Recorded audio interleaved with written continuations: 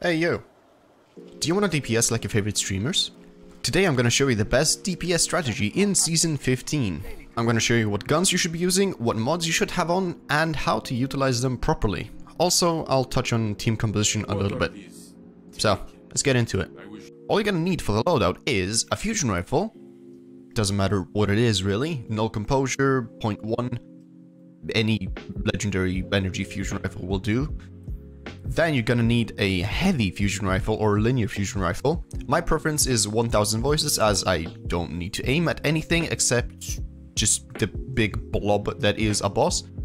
Alternatively, you could use a sleeper simulant or a regular legendary fusion rifle, but then you need to aim. So just, just go do last wish and get 1k. Then, the most important part of the loadout is you're gonna need to have the artifact mod particle deconstruction. This mod will give you up to 40% more damage for your fusion rifles, and it goes on your class item, takes 7 energy, so you're kind of limited as far as other mods on your class item go. But it, it DPS is worth it, trust me. As far as your team loadout, you're gonna want to have at least one Tether Hunter, a Bubble Titan, and a Well Warlock. Important bit about the Tether, you want to place the tether on the boss after you stack your artifact mod fully so that the tether actually works. When it comes to tethering the boss after you stack uh, particle deconstruction, currently it is bugged and the two do stack and I believe Bungie is gonna fix it fairly soon, so you should abuse this bug while it lasts. And if you're watching this in the future and it is fixed, then just ignore this bit of the guide.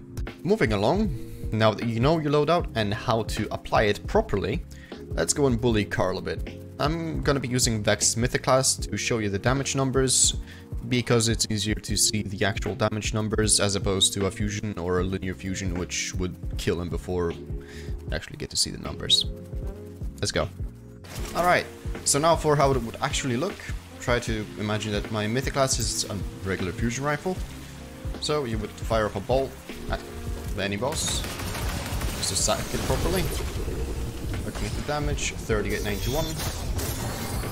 Flying Tether, another bolt. 50, 59, it does, still stack. And, well, you just burst him after that. So there you go. That's a quick guide to DPS in Season 15. If you enjoyed the video, make sure to like and subscribe. I do stream here on YouTube. Uh, a card should pop up any second. Make sure to click that. Follow me there as well. Alright. Thanks for watching. Peace out.